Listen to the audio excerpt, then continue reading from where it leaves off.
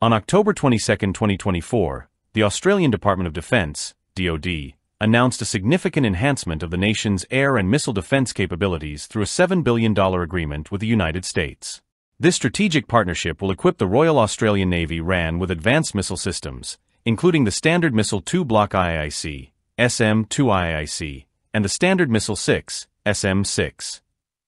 This development is pivotal in addressing the evolving security landscape in the Indo-Pacific region, particularly amid increasing tensions related to China's military expansion. The acquisition of the SM-2 IIIC represents a notable upgrade in Australia's air defence arsenal. This missile, featuring active radar homing technology, significantly enhances target acquisition and engagement capabilities compared to its predecessors.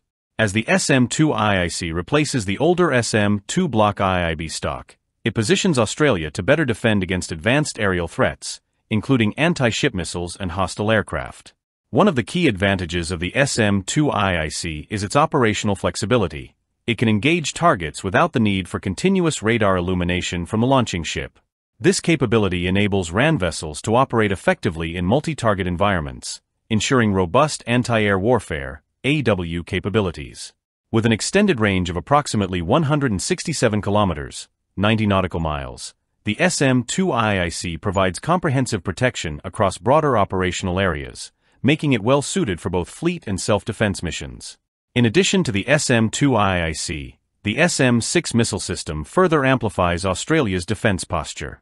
Known for its versatility, the SM-6 combines long-range air defense capabilities with anti-ship and potential ballistic missile defense functionalities. By utilizing external sensors, such as those on F-35 fighters, the SM-6 enables over-the-horizon targeting, significantly extending the operational reach of Australia's Hobart-class destroyers and future Hunter-class frigates.